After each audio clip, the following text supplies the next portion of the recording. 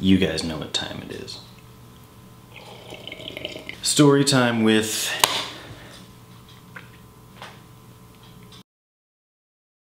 So today's story, when I was going through my notes, I was trying to figure out something to talk to you guys about because I miss you guys. I haven't I haven't made a video in six months, just a guess. I was looking through my notes and I found a little gem that I wrote down on my trip to California this summer. So the story I'm going to be telling you is about the angriest flight attendant that I have ever met in my life. Over the summer, my godfather and I went to California. And on our way back, we took a red eye and then we took an early-ish morning flight back to Cincinnati. So this one is on our last flight. Put things in perspective, I'm not the smallest person. Um, I'm about six foot, got pretty wide shoulders, I guess. Um, and this plane was tiny. The chairs were smaller than like an office chair, as plane seats are. But these were like that cut in half. So I was, I was literally sitting like this the whole time trying to sleep. So I'm already a little uncomfortable a little pissed because I'd been up all night trying to sleep on the flight, the flight prior to that. So, get on the plane, look at the seats. Crap. This is going to be a long flight. Set my stuff under my seat. Uh, my backpack barely fits under the seat in front of me. Sit down and wait for the plane to take off. As I'm doing that, a male flight attendant walks onto the plane and he just looks like he takes his job incredibly seriously, which I can respect, but I mean, he was serious. So he walks up and he starts doing inventory, all the foods, drinks, that kind of thing. I can just see him getting flustered. And that's when there's a knock on the panel in the floor under him. And he opens it up.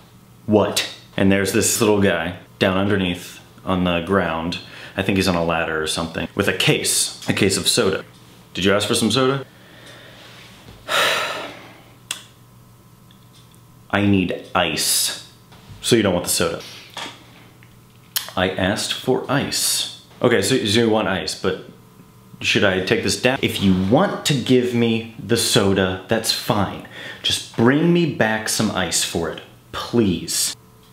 So, should I? Yes. Leave the soda.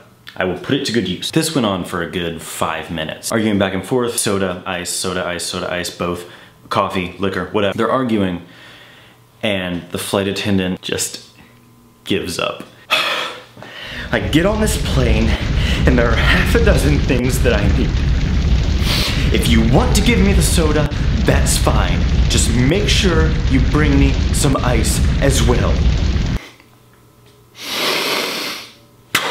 So the guy gets the message and closes the little trap door and runs to get him some ice. At this point, the flight attendant is just angry with everything. He's throwing stuff around the little kitchen area, slamming drawers, uh, loading up the cart with soda. He's just angry. He's just trying to get his anger out. Uh, a lot of the time you can take a you know pretty small size suitcase and carry it onto the plane with you, usually. That's what I do because it's easier than checking it.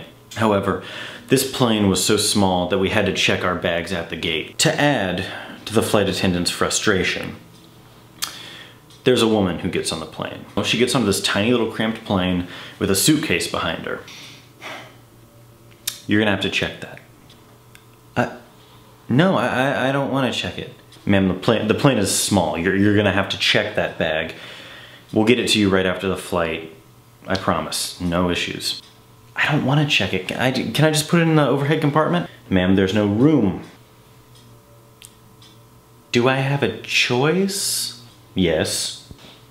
Okay, then I don't want to check it. The choice is you either check it or it doesn't fit. You have to check your bag. So after arguing back and forth, back and forth, back and forth, she finally gets the memo and checks her bag right outside the door of the plane. As soon as he tells her what her choices are, my godfather leans up from the seat behind me and goes, Man, that's one hell of a choice. That's all I got. That's it. Appreciate you guys tuning in. Um, hopefully I'll be making some more stuff for you soon. Later, Gator. Story time with...